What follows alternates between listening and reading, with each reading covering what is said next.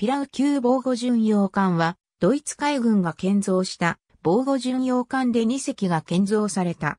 ドイツ海軍での類別は小型巡洋艦。本級は、もともとはロシア帝国海軍がシベリア召艦隊の防護巡洋艦に更新するために、ドイツ帝国の造船所に発注したムラビヨフ・アムール博とアドミラール・ネベリスコイ2隻であった。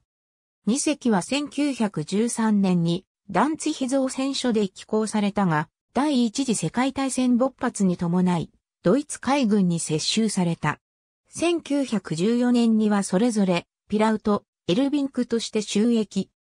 大戦中に、エルビンクがユトランド沖海戦からの期間中に、自軍の土級戦艦、ナッサウ級、ポーゼンから追突を受けて沈没したが、残ったピラウは、戦後にイタリアへの賠償艦に指定されて、バーリと改名された。本級の船体は前級に引き続き、朝鮮主郎型船体を採用していた。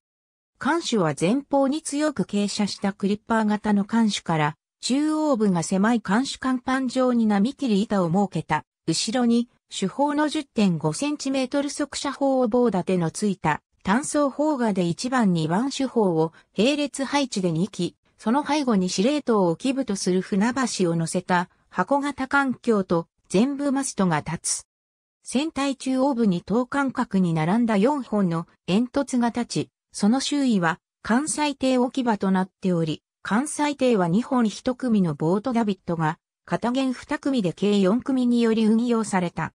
原則甲板上には 10.5cm 速射砲が、片弦4機配置された4番煙突の後方に、後部マストが立ち、後部甲板上に11番12番手法が、後ろ向きに並列で2機配置された。ありがとうございます。